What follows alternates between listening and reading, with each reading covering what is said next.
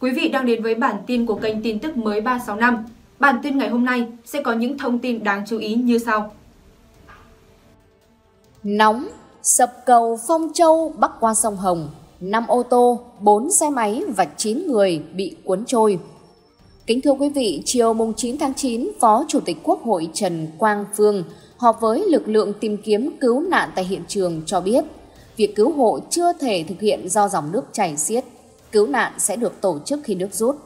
Cùng ngày, Đài Phát thanh huyện Tam Nông thông báo cầu Phong Châu bị sập vào khoảng 10 giờ sáng. Ủy ban Nhân dân huyện Tam Nông yêu cầu các gia đình có người thân qua cầu Phong Châu vào thời điểm đó. Nếu chưa liên lạc được, hãy liên hệ ngay với chính quyền địa phương. Gần hiện trường cầu sập, nhiều người lo lắng tìm kiếm người thân. Anh Chiến ở huyện Lâm Thao đang túc trực bên bờ sông Hồng cạnh cầu Phong Châu, chờ tin từ em rể là tài xế xe đầu kéo thường xuyên đi qua cầu. Gia đình anh Chiến không thể liên lạc với anh Trờ và đơn vị quản lý xe cho biết vị trí cuối cùng của xe là ở cầu Phong Châu. Chị Sinh ở huyện Thanh Thủy cũng gần hiện trường, nghẹn ngào cho biết Ủy ban Nhân dân xã đã thông báo về hai người đi xe máy rơi xuống sông. Chị đã cố gắng liên lạc nhưng không thành công. Biển số xe đúng là của vợ chồng anh chị ấy, anh đau chân nên chị ấy trở đi, chị Sinh nói. Trưa ngày 9 tháng 9, Phó Thủ tướng Hồ Đức Phước đã kiểm tra hiện trường vụ sập cầu Phong Châu, chỉ đạo công tác cứu hộ và khắc phục sự cố. Theo báo cáo sơ bộ từ tỉnh Phú Thọ, vụ sập cầu đã cuốn trôi 5 ô tô, 4 xe máy và 9 người. Phó Thủ tướng yêu cầu tập trung cứu vớt nạn nhân, ngăn chặn tai nạn thêm xảy ra và sử dụng lưới để tìm kiếm người rơi xuống sông. Công tác cứu hộ gặp khó khăn do dòng nước xiết. Phó Thủ tướng nhấn mạnh cần huy động toàn bộ lực lượng, bao gồm Bộ Quốc phòng và Công an, để đảm bảo hiệu quả cứu trợ. Tỉnh Phú Thọ đã đề nghị sử dụng quỹ khẩn cấp để sửa chữa cầu và dự kiến Bộ Giao thông Vận tải sẽ hoàn thành việc làm mới cầu trong vòng một năm. Trong thời gian chờ đợi, tỉnh sẽ lắp đặt cầu phao để người dân qua lại. Tại hiện trường vụ sập cầu Phong Châu, trời đã bắt đầu mưa, gây khó khăn cho công tác tìm kiếm và cứu nạn do nước lớn, chảy xiết và khu vực rộng. Khu vực đầu cầu đã được phong tỏa để phục vụ công tác cứu hộ. Phó Thủ tướng Hồ Đức Phước đang chủ trì cuộc họp tại hiện trường để chỉ đạo công tác cứu nạn. Nhịp cầu bị sập đã trôi xuống hạ lưu cách vị trí cầu ban đầu khoảng hơn 50 mét, nằm ở phía huyện Tam Đông, Phú Thọ. Một số người dân đã trình báo với lực lượng chức năng về người thân bất tích và không thể liên lạc được. Công an đã ghi nhận thông tin và biển số phương tiện để hỗ trợ tìm kiếm. Tại hiện trường, một người phụ nữ khóc ngất khi không còn liên lạc với người thân và chờ đợi thông tin. Thứ trưởng Bộ Giao thông Vận tải Nguyễn Xuân Sang cùng đoàn công tác đang có mặt tại hiện trường vụ sập cầu Phong Châu để chỉ đạo công tác cứu nạn. Bộ đã chỉ đạo Cục Đường Thủy Nội địa hướng dẫn các phương tiện thủy tránh xa khu vực cầu sập và phối hợp với lực lượng địa phương trong công tác tìm kiếm nạn nhân và xử lý sự cố. Ông Lê Kim Thành, Phó Chủ tịch Ủy ban An toàn Giao thông Quốc gia cùng lãnh đạo Cục Đường Thủy Nội địa và Cục Đường Bộ cũng đang trên đường tới hiện trường. Cục Đường Bộ Việt Nam đã yêu cầu Sở Giao thông Vận tải Phú Thọ khẩn cấp điều động nhân lực và thiết bị để khắc phục sự cố và tìm kiếm cứu nạn. Cục cũng đề xuất sử dụng vật tư dự phòng từ khu quản lý đường bộ 1 và các đơn vị liên quan để xử lý sự cố. Khu quản lý đường bộ 1 đã bố trí người và phương tiện hỗ trợ Sở Giao thông Vận tải Phú Thọ trong việc khắc phục hư hỏng công trình và sẵn sàng điều động khi cần thiết. Ngày 9 tháng 9, Thủ tướng Phạm Minh Chính đã phát đi công điện yêu cầu khẩn trương khắc phục sự cố sập cầu Phong Châu và ứng phó với mưa lũ tại Bắc Bộ. Công điện chỉ rõ, bão số 3 đã gây mưa lớn và sập cầu Phong Châu ở Phú Thọ, là một số người và phương tiện rơi xuống sông. Thủ tướng gửi lời chia buồn đến các gia đình nạn nhân và yêu cầu Phó Thủ tướng Hồ Đức Phước cùng lãnh đạo các bộ và Ủy ban quốc gia ứng phó sự cố đến hiện trường, chỉ đạo công tác cứu hộ và khắc phục sự cố. Bộ trưởng Giao thông Vận tải phối hợp với tỉnh Phú Thọ để xử lý hậu quả và mưa lũ. Thiếu tướng Phạm Văn Tị, Phó Cục trưởng Cục Cứu hộ Cứu nạn, Bộ Tổng Tham mưu cho biết Bộ Tư lệnh Quân khu 2 đã cử lực lượng và phương tiện tham gia cứu hộ vụ sập cầu Phong Châu. Trung tướng Doãn Thái Đức, Cục trưởng Cục Cứu hộ Cứu nạn, đang có mặt tại hiện trường chỉ huy công tác cứu nạn. Bộ Quốc phòng đã chỉ đạo điều 270 cán bộ chiến sĩ cùng 6 cano và xuồng do tư lệnh quân khu 2 trực tiếp chỉ huy. Đến nay, lực lượng cứu nạn đã đưa 3 người vào viện cấp cứu, trong đó có một cháu nhỏ bị thương nhưng đã bơi vào bờ. Trung tướng Phạm Hồng Trương, tư lệnh quân khu 2 cho biết, số nạn nhân chưa được xác định do không có camera trên cầu, nhưng lưu lượng giao thông lớn có thể dẫn đến nhiều nạn nhân. Ông Nguyễn Mạnh Hùng, Phó Chủ tịch Ủy ban Nhân dân huyện Tam Đông cho biết, trong vụ sập cầu Phong Châu có nhiều phương tiện và người rơi xuống sông.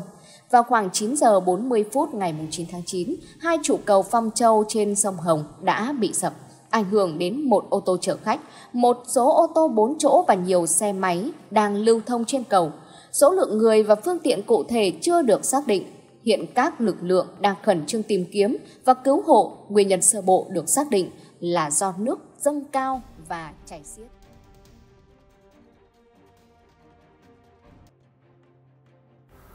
Cú lừa ngoạn mục kể cả người nhà bí thư thành phố Hồ Chí Minh lừa đảo hàng tỷ đồng, công an khẩn cấp vào cuộc. Kính thưa quý vị, ngày 6 tháng 9, công an thành phố Hồ Chí Minh đã bắt khẩn cấp Nguyễn Văn Tâm, quê An Giang vì hành vi lừa đảo chiếm đoạt tài sản. Tâm đã giả danh bí thư thành ủy thành phố Hồ Chí Minh Nguyễn Văn Nền, thậm chí bắt chước giọng nói, gọi điện của người thân của bí thư để mượn tiền và kêu gọi góp vốn đầu tư. Vụ việc là một trong những phương thức lừa đảo ngày càng tinh vi khi các đối tượng giả danh cán bộ lãnh đạo để tiếp cận và lừa đảo nạn nhân. Hành vi này gây hậu quả nghiêm trọng, làm mất lòng tin của xã hội và các tổ chức. Nghi ngờ bị lừa đảo qua điện thoại, các nạn nhân đã trình báo công an. Sau khi nhận tin, Công an thành phố Hồ Chí Minh đã phối hợp với các đơn vị nghiệp vụ bắt giữ Nguyễn Văn Tâm, kẻ mạo danh bí thư thành ủy và lãnh đạo các cơ quan để lừa đảo. Tâm đã dùng nhiều số điện thoại lãnh không chính chủ, gọi điện mượn tiền, sau khi nạn nhân chuyển tiền thì rút và cắt liên lạc. Tâm đã chiếm đoạt hàng tỷ đồng từ nhiều nạn nhân. Cùng lúc, Công an tỉnh Ninh Bình đã bắt giữ Phạm Ngọc Duân, bí thư xã Khánh Trung vì lập hồ sơ khống rút 430 triệu đồng từ ngân sách nhà nước. Vào năm 2019-2020, Phạm Ngọc Duân khi là chủ tịch Ủy ban nhân dân xã Khánh Trung đã chỉ đạo mua máy cấy lúa cũ nhưng lập hồ sơ khống, nâng giá trị để trục lợi ngân sách, gây thiệt hại 430 triệu đồng. Duân và đồng phạm Phạm Khắc Thắng thừa nhận sai phạm và đã khắc phục hậu quả. Vụ án đưa nhận hối lộ lớn nhất Thanh Hóa liên quan đến nhiều cán bộ địa chính, đăng ký đất đai và cục thuế, gây hậu quả nghiêm trọng. Cuộc chiến chống tham nhũng vẫn đang diễn ra quyết liệt. Cơ quan an ninh điều tra Công an tỉnh Thanh Hóa vừa khởi tố thêm 3 bị can liên quan đến vụ đưa nhận hối lộ tại chi nhánh văn phòng đăng ký đất đai thành phố Sầm Sơn. Bị can gồm Nguyễn Thế Hùng, nguyên giám đốc chi nhánh, Lê Huy Hoàng, phó giám đốc và Cao Xuân Hiệp, cán bộ chi nhánh. Tính đến nay, tổng cộng 26 đối tượng đã bị khởi tố. Đây là vụ án tham nhũng có số lượng đối tượng bị khởi tố nhiều nhất từ trước đến nay. Công an Thanh Hóa đang tiếp tục mở rộng điều tra để xử lý các đối tượng liên quan. Trong quá trình cấp mới, cấp đổi và chuyển nhượng đất đai, lợi dụng sự thiếu hiểu biết về luật đất đai của người dân, một số đối tượng đã cấu kết với cán bộ tại cơ quan nhà nước như văn phòng đăng ký đất đai, phòng tài nguyên và môi trường và chi cục thuế để nhận tiền làm hồ sơ đất đai. Các đối tượng này nhận tiền từ vài triệu đến vài chục triệu đồng, sau đó móc nối, đưa tiền cho cán bộ có liên quan để nhanh chóng hoàn tất thủ tục. Nếu không chi tiền, người dân sẽ bị gây khó dễ, kéo dài thời gian xử lý, Vụ việc đã diễn ra trong thời gian dài, gây bức xúc dư luận và ảnh hưởng đến uy tín của thành phố Sầm Sơn. Mặc dù chính quyền đã chấn chỉnh, các đối tượng vẫn vi phạm với thủ đoạn tinh vi hơn. Đây là vụ án nghiêm trọng với nhiều đối tượng liên quan. Dưới sự chỉ đạo quyết liệt từ lãnh đạo Bộ Công an và tỉnh ủy Thanh Hóa, các biện pháp nghiệp vụ đã được áp dụng để điều tra, làm rõ hành vi đưa nhận hối lộ của các đối tượng. Ngày 6 tháng 9, Công an thành phố Hồ Chí Minh phong tỏa trụ sở công ty VNG do để lộ hơn 163 triệu tài khoản khách hàng, gây lo ngại về bảo mật dữ liệu cá nhân. Tổng Bí thư Chủ tịch nước Tô Lâm khẳng định, cuộc chiến chống tham nhũng sẽ không có vùng cấm, không ngoại lệ. Bộ Công an cũng cảnh báo nhiều doanh nghiệp chưa đảm bảo an ninh mạng, dẫn đến việc lộ thông tin khách hàng như Thế giới di động, Điện máy xanh và Việt Nam Airlines làm dấy lên những yêu cầu tăng cường quản lý dữ liệu cá nhân chặt chẽ hơn. Các đối tượng thường tạo website có nội dung hấp dẫn để âm thầm cài mã độc, từ đó thu thập những thông tin cá nhân của người dùng mà họ không hề hay biết. Khi người dùng nhập thông tin, dữ liệu sẽ được gửi đến hacker thay vì nhà cung cấp dịch vụ. Ngoài ra, chúng còn sử dụng thiết bị nghe lén để thu thập thông tin cho mục đích không rõ ràng. Qua khám xét, nhiều cán bộ lộ ra khối tài sản không rõ nguồn gốc. Năm 2024, việc phòng chống tham nhũng đã tiếp tục được triển khai mạnh mẽ với 19 người bị xử lý và kê khai tài sản không trung thực. Trong năm 2024, có 14 người bị khiển trách, 13 người bị cảnh cáo và 11 người bị cách chức. Các cuộc thanh tra và kiểm tra phòng ngừa tham nhũng được thực hiện nhiều hơn so với năm 2023, mặc dù số lượng vẫn còn hạn chế và vi phạm phát hiện không nhiều. Đặc biệt, đã khởi tố nhiều cán bộ cấp cao liên quan đến các vụ án tham nhũng phức tạp, cả cũ lẫn mới. Các cơ quan đã kiên quyết điều tra và xử lý nghiêm các hành vi sai phạm trong cả khu vực nhà nước và ngoài nhà nước, đồng thời khởi tố nhiều lãnh đạo cấp cao. Cuộc chiến chống tham nhũng ngày càng trở nên quyết liệt và có hiệu quả hơn, góp phần quan trọng vào việc xây dựng đảng, ổn định chính trị và phát triển kinh tế. Gần đây, tại Hải Dương, Công an đã hoàn tất điều tra và đề nghị truy tố 13 bị can liên quan đến vụ án tham nhũng lớn, trong đó có nhiều cán bộ của Liên đoàn Lao động tỉnh vì thiếu trách nhiệm và lợi dụng chức vụ. Gần đây, nhiều cán bộ ở Hải Dương bao gồm Mai Xuân Anh, Phạm Thị Thùy Linh và Nguyễn Vân Nam đã bị khởi tố và bắt tạm giam về tội tham mô tài sản và lợi dụng chức vụ. Họ liên quan đến việc điều chỉnh sai số liệu tài chính và gây thất thoát hơn 20 tỷ đồng cho Liên đoàn Lao động tỉnh Hải Dương. Cùng lúc tại Bắc Giang, Phạm Hồng Tề, nguyên chủ tịch công ty cổ phần thuốc lá và thực phẩm Bắc Giang, cũng bị khởi tố vì vi phạm quy định quản lý tài sản nhà nước gây thất thoát lãng phí. Phạm Hồng Tề, nguyên chủ tịch hội đồng quản trị công ty cổ phần thuốc lá và thực phẩm Bắc Giang, bị khởi tố vì quản lý kém khiến tài sản công ty thất thoát nghiêm trọng. Từ 2008, mặc dù công ty thua lỗ kéo dài, Phạm Hồng Tê đã không thực hiện đại hội cổ đông, báo cáo tài chính hay thông báo tình hình với Ủy ban Nhân dân tỉnh Bắc Giang. Tại Bạc Liêu, bà LKH, hiệu trưởng trường mầm non sao biển, cũng bị điều tra vì không công khai hơn 304 triệu đồng từ các hợp đồng cung cấp dịch vụ, gây lo ngại về tính minh bạch tài chính. Công ty Nutifood Bình Dương đã chuyển hơn 220 triệu đồng vào tài khoản cá nhân và các cá nhân khác chuyển gần 78 triệu đồng. Cơ quan Cảnh sát điều tra Công an huyện Đông Hải đã khởi tố vụ án hình sự để điều tra. Từ năm 2015-2019, trường mẫu giáo sao biển đã vi phạm quy định tài chính khi nhận tiền hoa hồng hơn 24 triệu đồng mà không nộp vào quỹ, thay thế sữa tươi bằng sữa bột không đúng quy định và tạo hóa đơn giả để thanh toán hơn 43 triệu đồng. Sau khi thanh tra phát hiện vi phạm, Ủy ban Nhân dân huyện Đông Hải đã chuyển hồ sơ cho công an điều tra. Ngày 3 tháng 9, Công an quận Cầu Giấy đã bàn giao đối tượng Vũ Tuấn Anh, sinh năm 1977, cho cơ quan cảnh sát điều tra công an thành phố Hà Nội. Trước đó vào cùng ngày, đội cảnh sát hình sự quận Cầu Giấy đã bắt giữ thành công Vũ Tuấn Anh, đối tượng truy nã đặc biệt nguy hiểm tại tỉnh Bình Thuận. Việc bắt giữ diễn ra theo quyết định số 16728 ngày 10 tháng 8 của cơ quan điều tra. Hiện đối tượng đã được chuyển giao để tiếp tục điều tra và xử lý theo pháp luật. Còn quý vị nghĩ sao về vấn đề này? Xin để lại giữa bình luận, nhớ đăng ký kênh và ghé qua mỗi ngày. Còn bây giờ xin kính chào và hẹn gặp lại.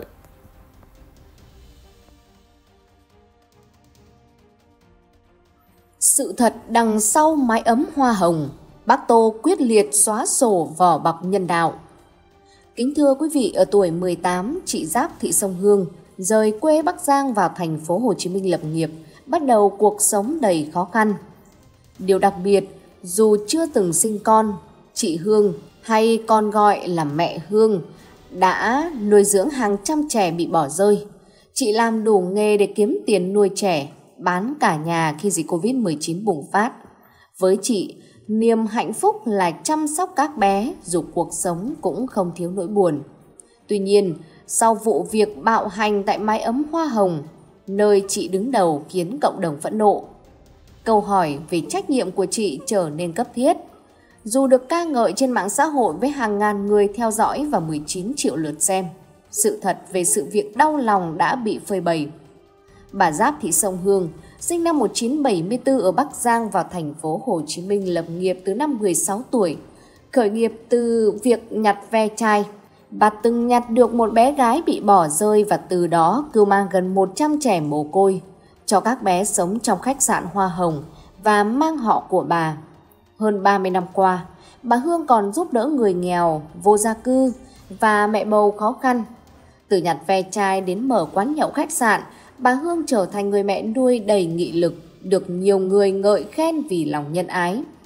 Bà Giáp Thị Sông Hương từng giúp đỡ người nghèo, mẹ bầu khó khăn và nuôi gần 100 trẻ bị bỏ rơi. Khi Covid-19 bùng phát, bà bán tài sản để duy trì các hoạt động từ thiện.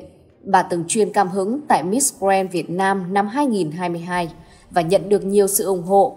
Tuy nhiên, sau hơn một năm mái ấm hoa hồng bị phanh phui với những sự thật tàn nhẫn, gây bức xúc lớn trong dư luận. Một câu hỏi quan trọng là liệu có hành vi trục lợi nào không khi bà Hương nổi tiếng với hàng chục triệu lượt xem trên YouTube kêu gọi quyên góp liên tục. Mái ấm hoa hồng chỉ được phép nuôi 39 em nhưng thực tế là 85 em. Bà Hương có thực sự không biết về những hành vi tàn nhẫn của bà mẫu. Với 1.400 video đăng tải, việc bảo bà không biết những gì xảy ra thật khó hiểu.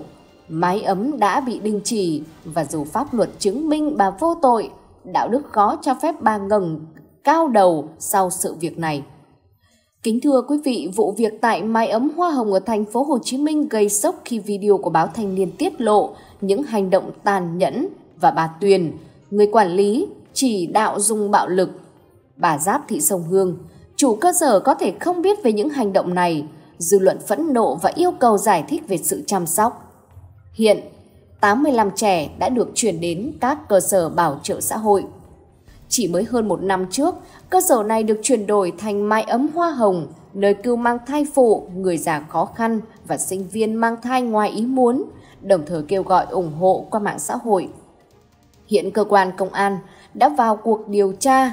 Bà Giáp Thị Sông Thương, chủ cơ sở khai rằng các hành vi bạo lực của bảo mẫu là hành động bộc phát và bà không biết gì về chúng. Tuy nhiên, lời khai này còn phải chờ kết quả điều tra dù bà Hương thường xuyên khoe hình ảnh chăm sóc trẻ và kể câu chuyện đời mình đầy xúc động.